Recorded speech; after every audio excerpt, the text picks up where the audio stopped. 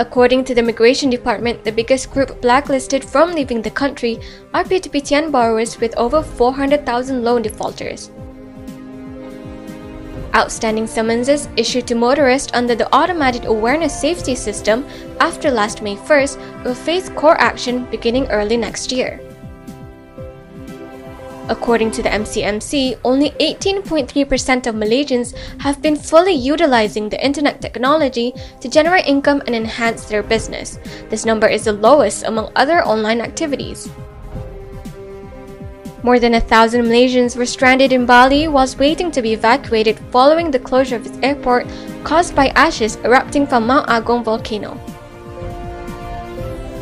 The 9-kilometer Rawang bypass, which opened on Wednesday, is expected to reduce traffic congestion by 50% and shorten the travel time from Serendah to Selayang.